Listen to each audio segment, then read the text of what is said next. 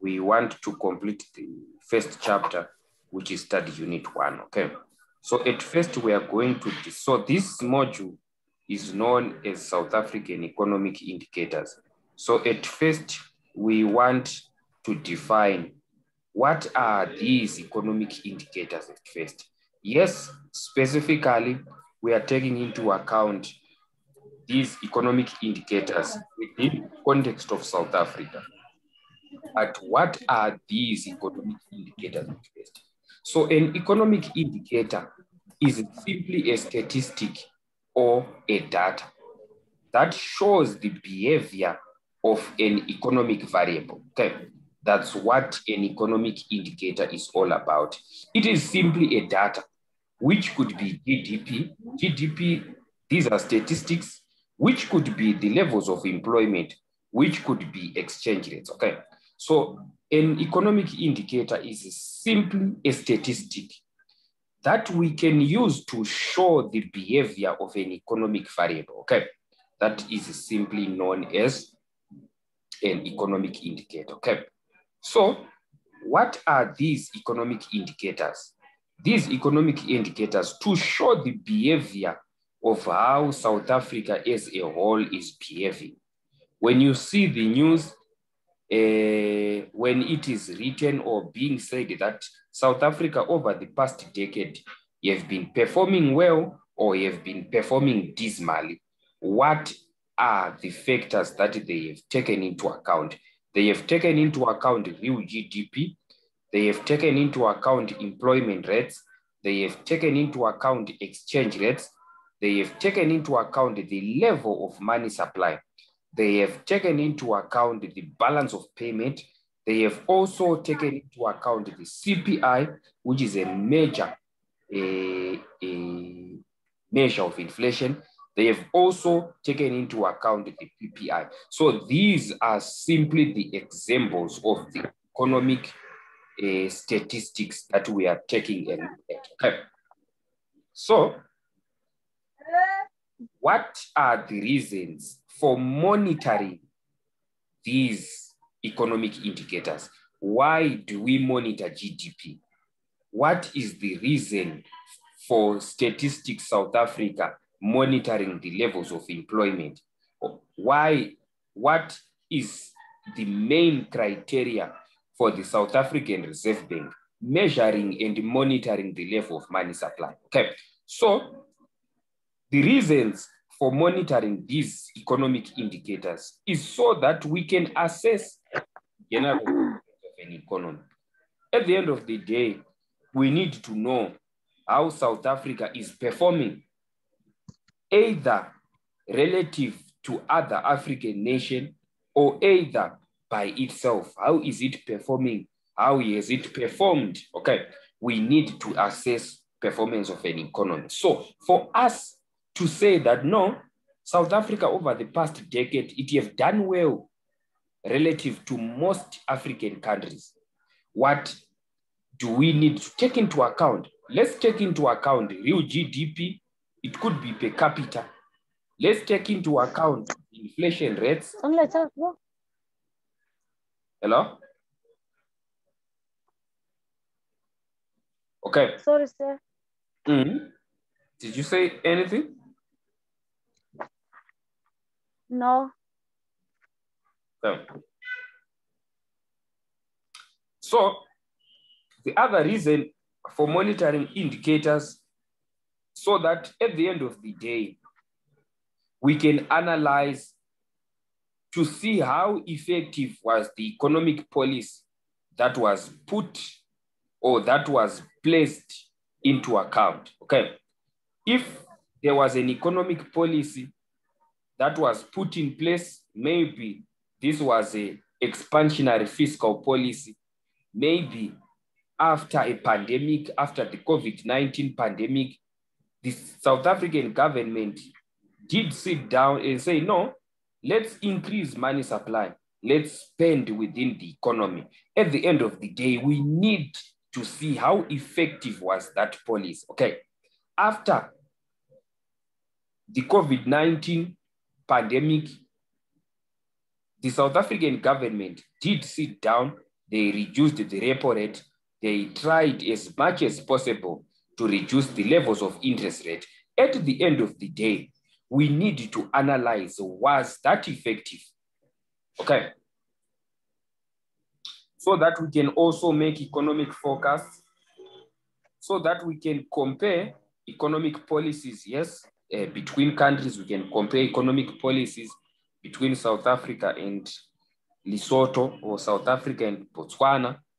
Uh, speculators does also monitor these economic indicators so that they make decisions. Should we buy or should we sell? Speculators, these are simply individuals that uh, tries as much as possible to attain a profit out of changing circumstances. They also monitor interest rates. They also monitor the levels of inflation so that they can see at some point in time should we buy stocks and sell them at some point in time and then we make a profit? Okay, is it making sense? Is it making sense, Katie? Uh, is it making sense? Uh, I forgot your name now. Yes, it is making ah. sense. Yeah, yes, sir. Yeah. So the other reason is so that we can make a decision should we expand our business? Yes, if the economy is performing well, if we see that real GDP is growing, South Africa is growing over a period of time, the levels of income are increasing, jobs are all over the country. Why should we not expand our business? Why should we not explore into new markets? But for you to make that decision, you need first to take a look on these uh, statistics, okay?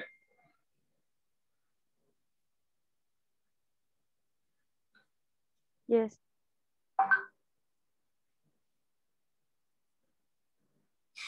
Okay, so let's take a look on the main criteria for assessing the performance of the economy. Already we know that uh, there are four main government objectives. The first objective is for economic growth. government each and every year, the government each and every year, it tries as much as possible for the economy to grow, for price stability, for full employment, for balance of payment stability, equitable distribution of income. So these are amongst the five main basic uh, uh, objectives of the government. Okay, so these objectives, we can also use this objective to measure or to assess the performance of an economy. Economic growth is simply the total value of all goods and services that have been produced over a period of year within the boundaries of a country. That is what is simply uh, in which we are referring to. So we measure economic growth. The main measure for economic growth is simply real GDP. Real GDP, we you have to note that we have a difference. Uh, there's a difference between a real GDP and nominal GDP. Real GDP is the common measure, and it is the effective measure that we can use to measure economic growth. So, economic growth is one of a yardstick that we can use uh, to measure the performance of an economy. Yes, if South Africa is growing over time, we can we measure that yes through real GDP, and we can assess that no, over time South Africa has been performing well. We also need to take into account uh, the changes in the general price level. The changes in the general price level is the one we are referring constant, yeah, as price stability. Ne? So, price stability uh, is whereby we are saying that over time how has been inflation behaving? Have we been in an inflationary environment? Have we been maybe in a deflationary environment? How do we assess that? We use the consumer price index. The consumer price index simply takes into account a representative basket of consumer goods.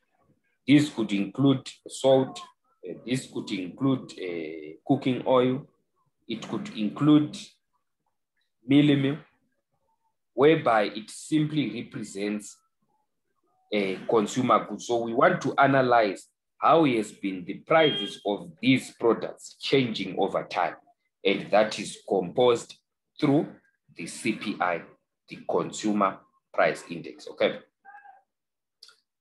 Uh, of course, it is every nation's objective to try as much as possible to increase the levels of employment, okay? One of the objectives of a government is of full employment. Let's make jobs available, okay? Let's make jobs available. So if employment rate or unemployment rate is around 70%, we can see that overall, this economy is struggling to what? To maintain jobs or to come up with a new, new jobs, okay? Uh, the other uh, factor that we take into account when assessing the performance of an economy is the balance of payment. The balance of payment is simply a statement that records all economic transactions that take place between South Africa and its trading partners. Within the BOP, we try as much as possible to maintain stability, okay? To maintain stability, we want to try as much as possible so that the value of exports might be equal to the value of imports, okay? Equitable distribution of income and wealth is also another factor we need to take into account when assessing the performance of an economy. By equitable distribution of income, we are simply saying within a single economy, within a single society, or within a single community, how is income distributed? Are we having the poorest men in one community and also the richest men in that same community? Okay. So we try as much as possible to reduce the gaps between the rich and the poor. Okay. We try as much as possible. So that is one, one of a factor uh, we need to take into account. Okay. Is it making sense? Yes. Uh, regarding the price stability, um, uh, when you say price stability, let's say uh, prices of goods increase every year. Mhm. Uh, would you say that, as a like, would you say that the price are not stable? I don't understand that part. Yeah, Oh, with by- uh, by price stability. Yeah. Okay, by price stability, uh, what we simply mean, uh, Teddy, is that the general price levels, okay, by general, we are simply taking into account uh, prices that maybe represents uh, all products. né? We are not taking into account everything per se, but we are simply saying the general price level, it could be fuel, Okay. It could be fuel, it could be the price of basic goods. Okay. So mostly when we take into account uh, price stability, we are saying the prices of these basic goods must not be very volatile. Okay. They must not change each and every time you go to Pick n Pay. Yesterday, a 10 kg of mealie was, I'm not sure what's the price. I think 100, is it 100 rand? If I'm not sure. Yeah, I think 100 rand. Yesterday it was 100 rand. Today, today is 112 rand. The day, uh, tomorrow is 121 rand. The day after tomorrow is 136 rand. Next week it's 190 rand. That represents prices that are unstable. Okay. So at some point in time, we can say, yes, the price of mealie meal was 90 Rand last year. It's now 100 Rand. Yes, the prices have increased, but we can also say that it is stable because it has not changed very much over that period of time. Okay. Okay. Right. you Thank you. You understand? Eh? Yeah. Yes, I do. Thanks. Okay, so uh, what are the sources of where do we get the rates of employment? Where do we get the rates of inflation? To say that employment rate is uh, 67% or unemployment is at this rate, where do we get that data? We get it from Statistics SA. We get it from the South African Reserve Bank. We can get the data from newspapers and financial magazines. We can get it from the World Bank online portal. We can get it from a Quantec data, or we can also get it from the International Monetary Fund, okay?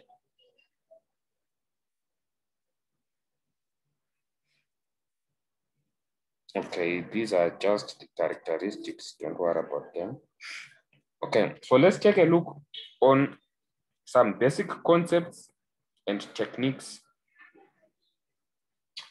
Uh, earlier, we did take into account that we have what is known as a real GDP. We also have what is known as a nominal GDP, okay? We have nominal values, we have real values. How do we calculate a nominal value? When we are calculating a nominal value, we simply take into account current price. So I'll represent current price by PC multiplied by current quantity. I'll represent current quantity by PC. So my C is simply representing something which is current, okay? So this one is known as a nominal factor or a nominal value, okay? How about calculating a real value? When calculating a real value, we take into account the price that is constant. We take into account a constant price. So I'll represent a constant price by PK multiplied by current quantity, okay? And this represents a real value, okay? By PK, we are simply taking into account that whenever we calculate a real value, it could be real GDP.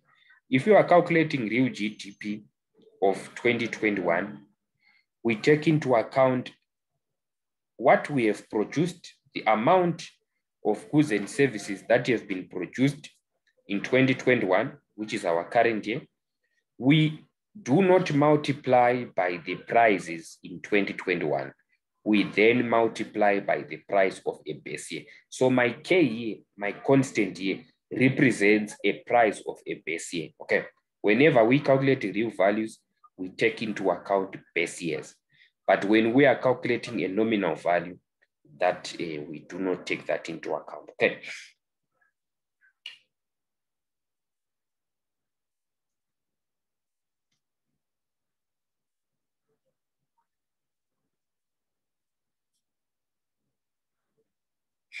Okay, volume, price, and value.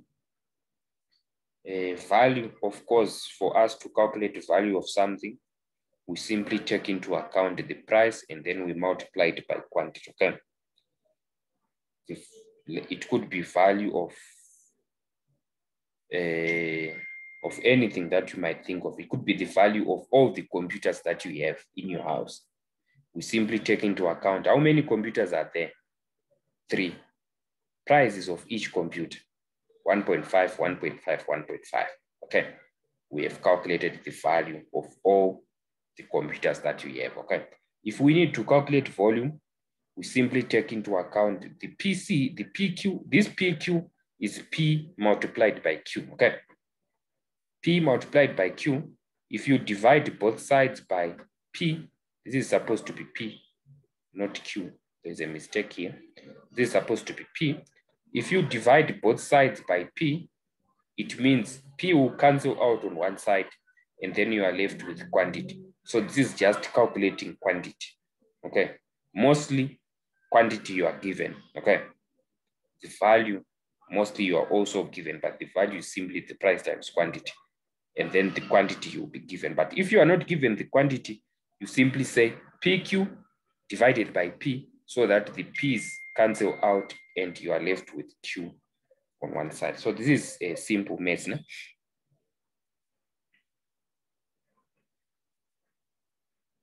Okay. No. Can you please repeat the, the value and volume? Okay. We said value. We said value is equal to P multiplied by multiplied by Q, right? Yes. Volume or quantity or simply quantity. So if we say value is equal to P times Q, how do we then calculate or how, what is the way forward so that we are only left with Q here? Okay. What we simply do is that this PQ, we divide PQ by P, okay? We say value, Okay. we say volume. Volume is equal to value, right? Value which is PQ, right? Or should I simply write P times Q? Peter, yes. Let me write Q times Q. Volume is simply equal to P times Q divided by P. Okay. What happens? Okay. This must cancel out. Okay. Because All right. so it means at the end of the day, volume is equal to Q. Okay. And then you are done. Like what I've said, Alright. mostly, mostly you are given this Q, okay? Mostly you are given this Q and maybe you just need to calculate the, the value. You simply say Q multiplied by the price, you'll be also given the price, okay? So to calculate volume, you simply say value divided by P. P and P will cancel out and then you are left with a Q, okay? So how do we calculate a percentage change? This is, this matters, Okay. Thank yes? Do you want to say something? Okay. How do you calculate the percentage change? This is very crucial. This is very crucial. You see it whenever you do your exam, you can see a calculation of percentage changes more than seven questions. Okay. And it is very crucial. So the general method of calculating a percentage change is equal to new minus old divided by old multiplied by 100. Okay. This is similar as if I've said uh, Q2, let's say it's quantity, Q2 minus Q1 divided by Q1 multiplied by 100. Okay. From this example that we are given here of saying there's an increase, let's say it is an it is a price increase. Okay. Let's say it is a price increase from 20 rand to 25 rand. What is our new year, Katie? What is our new price? Our new price is 25 rand. 25. What is our old price? It's 20. Divided by our old price 20. multiplied by 100. Then you get your percentage, which is similar. New 25, old 20, divided by old 20, multiplied by 100. Okay. And then you get your percentage. So this is a very crucial. This is very crucial. You will see many questions uh, that examines you on this. It could be a percentage change in prices. It could be a percentage change in GDP. It could be any percentage change. Maybe it's interest rates. Okay. You simply have to know that you first check interest rates have rose from 15 to 25. So you simply say 25 minus 15 divided by 15 multiplied by 100. Okay. So you are multiplying by 100 so that it can be a percentage. Okay.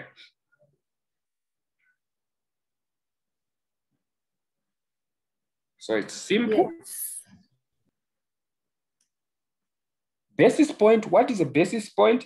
A basis point is 100th of a percentage point. Okay. A basis point is 100th of a percentage point. This means that when we have one percentage point, we have how many basis points?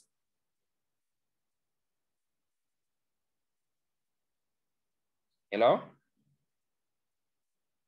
When we have one percentage point, it means we Isn't have 100?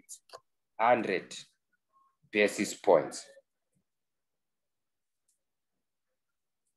And if we have one basis point, we have how many percentages?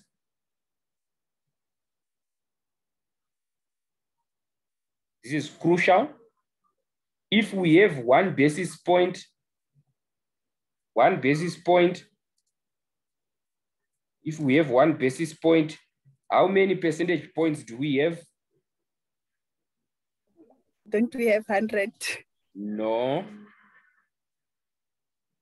No. How can we have 100? We have 0 0.01. Right. To have one basis point here, what did we do? We simply divided both sides by 100. 100, yeah. Yes, we simply divided both sides by 100 so that we are left with one on this side. If you divide one by 100, it's what? Yes, Point one, 0.1, right? exactly. Exactly. So 100 by 100 will cancel out, then you are left with one. One divided by 100, it becomes 0.01. So one basis point is equal to 0.01 percentage points, okay? This is very crucial.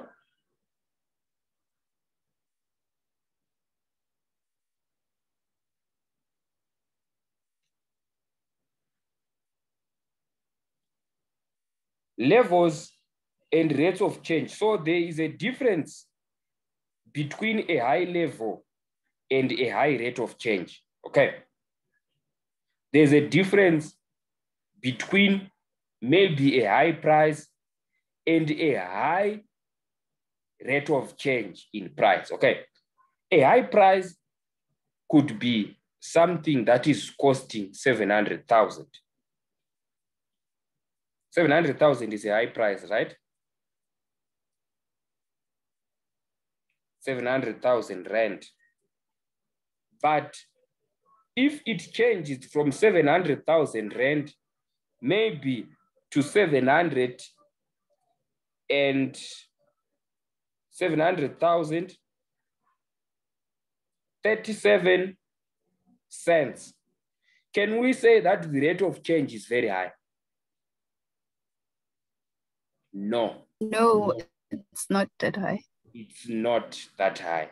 But if it changes from 700,000 maybe to 3 million, 500, the rate of change is now very high. So a high price does not mean a high rate of change. The change could be very insignificant. If you calculate the change here from 700,000 to 700,037 cents, the rate of change could be far, far less than uh, 0.5%, even less than 0.25%.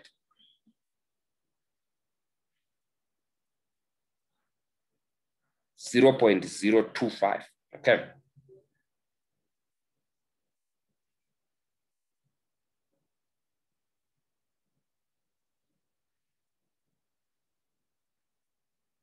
So stocks and flows. Stocks, we have a stock variable. So a stock variable is measured at a certain point in time. At a certain point in time. Okay, it is a fixed amount. It is a fixed amount at a certain or at a particular point in time. Whenever we say that okay, this wealth on this day is equal to 500,000 rand. 500,000 rand is fixed on a particular day, on the 5th of April, 2021, this wealth is 500,000. It becomes a stock variable. We have flow variables. Okay, so uh, I'm seeing here, I need to, to change my, I need to change my, uh, okay, it's fine.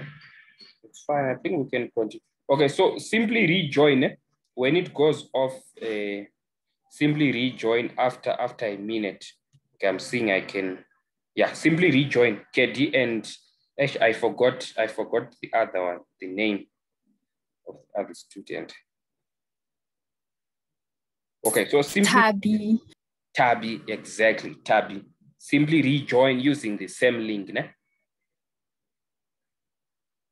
All right. Because I'm seeing uh, I'm seeing I'm left with one minute.